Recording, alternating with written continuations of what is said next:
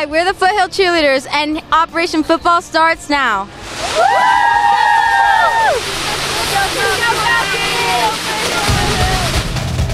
Live from the News 3 studios, this is Operation Football, powered by the News 3 Station Casino Sports Desk. That's what I'm talking about, Jesse. Yeah. Hello and welcome to Operation Football, the very best high school football show in Las Vegas, as voted on by our producer, Kaylee, and director, Justin. I'm pretty sure our bosses paid them to say that, but hey, we'll take what we can get, right? Ah, that's right. Jesse Merrick, Brian Salmon. Yeah. Uh, what? You think it's going to be a good show? Let's hope so. Uh, yeah. I think it will be. I, I think it will be as well. All right, folks, let's go ahead and get right to it. Our game of the week. And that is where we find our Amber Dixon. Uh, hey, Amber, somebody though had to go in our Operation Football Game of the Week, Desert Pines at Foothill. And it was a battle between two undefeated teams. And at Foothill High, of course, that's where the game was at. But no team is going to be perfect after tonight's barn burner. Amber, show us what you got. All right, the team that is no longer perfect tonight is Foothill. Those Falcons had a little trouble hanging with a Desert Pines team that has several D1 prospects. The Foothill Falcons were 4 0 ahead of tonight's game and got a rude awakening when Desert Pines returned the opening kickoff for a touchdown. Here, Desert Pines up 6 zip in the first quarter when their QB, RJ Tagatzes, throws a little pass over the top to tight end Darnell Washington and the five star recruit, the top recruit in the state of Nevada in the class of 2020, is just too big for everyone on the field and goes 22 yards for the touchdown. Down 20 0 in the second quarter, Foothill would get on the board when Coy Riggin hooked up with Thomas Fisher Welch in the end zone. A painful six points for the senior wide receiver. But second half, and DP's Darnell Washington would make this one handed TD catch look oh so easy. And the Desert Pines Jaguars would go on to win 33 14. Two scores out of your top tight end, the five star recruit, Darnell Washington. What makes him special to you? He's just he's a special athlete. You know, tonight they had Georgia Miami here looking at him, and he just put on a show. He's just an amazing talent. Darnell, two touchdowns from you tonight. What did you think of your own performance? Uh, I started a little slow.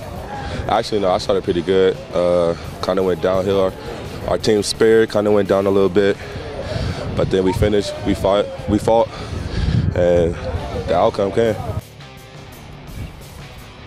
Ahead of tonight's game, Desert Pines had talked about the need of shutting down number two on Foothill, but turns out that Foothill needed to be just as concerned about number two on Desert Pines.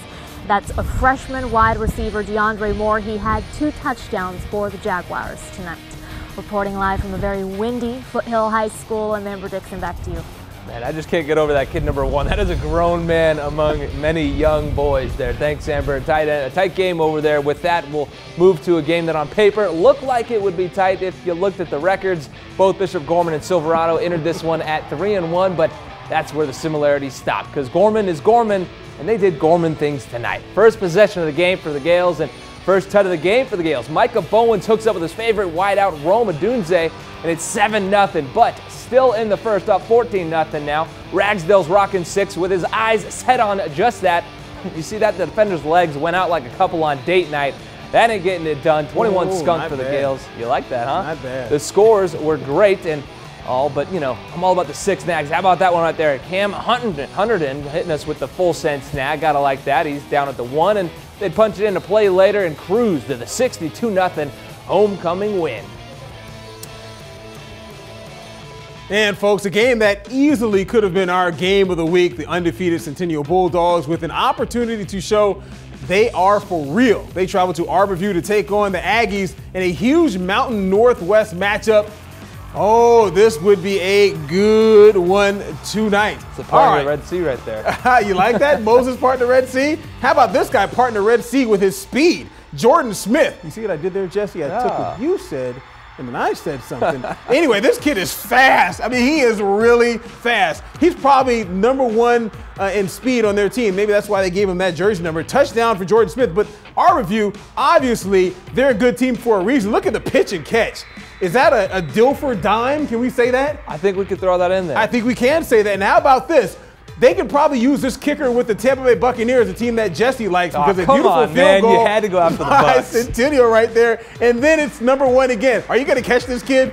Nope. No, you're not catching Jordan Smith, the fiery, fast, flame-throwing, running kid from Centennial. But Arbor View would stay in this game. The handoff, number 37, scores a touchdown for the Aggies. Had a chance to kind of come back and maybe tie the game with a field goal or win with a touchdown, but the defensive line for the Centennial Bulldogs too much.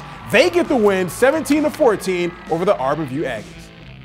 I had to start going through my progressions and slowing it down a little bit. And once that big play came, and just track speed came on, the usual. Since since we've been trying to do this since we was all freshmen, like the players that have been with me, we've been building this team for so long. It just it feels so it feels so magnificent that we can get the dub tonight.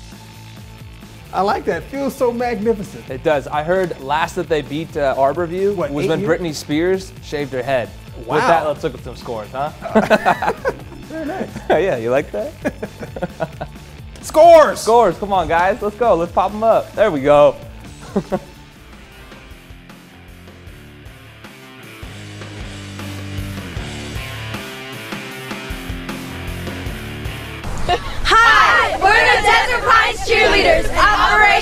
Operation We'll be right back.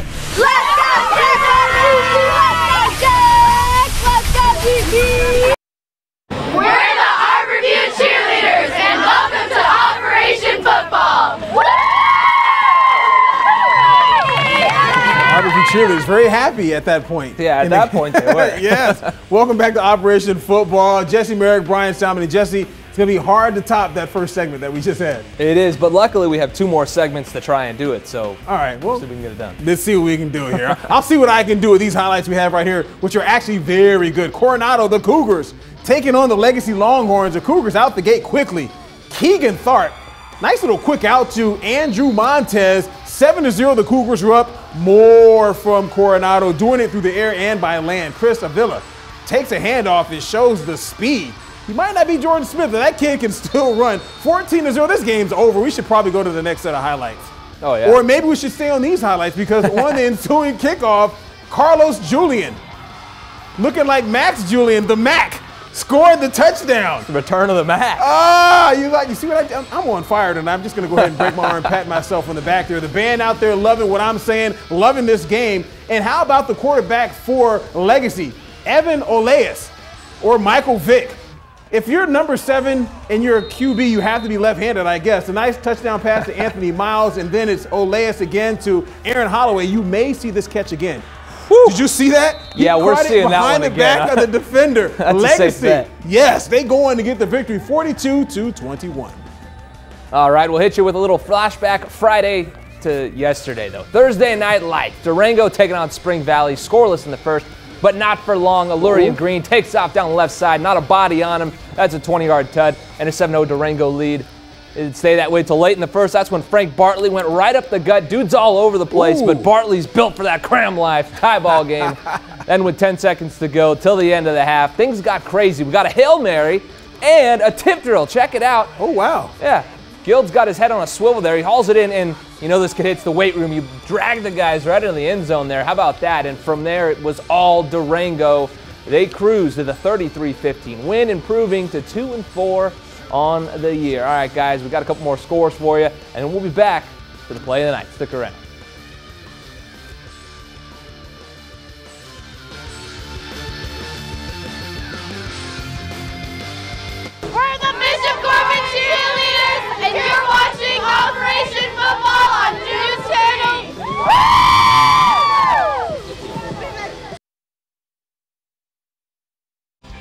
Operation Football, baby. It's our favorite part of the night. Let's get to it. You can't beat Plays it. of the Plays night. of the night. All right. First up, it's the Legacy Longhorns. Evan Elias to Aaron Holloway. You saw it before. He catches the ball over the back of the defender. Shout out to friend of the show, Willie G, for calling this as one of the plays of the night.